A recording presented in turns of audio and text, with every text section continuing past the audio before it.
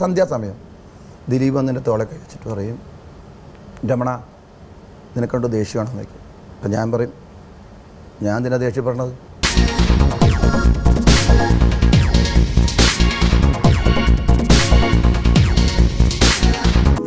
Thank you for watching this video. Don't forget to subscribe to our channel.